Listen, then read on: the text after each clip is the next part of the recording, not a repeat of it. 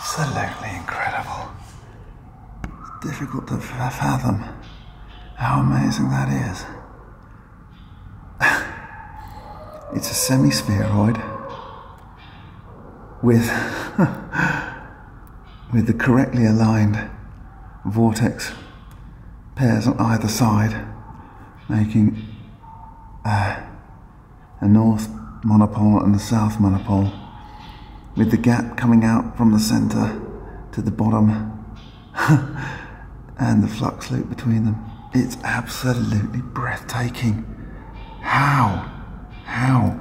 And if you look down here, it is putting that at about 200 BC. So called spectacle brooches were possibly worn by men and women alike. Oh my, my. That is something absolutely mind bending.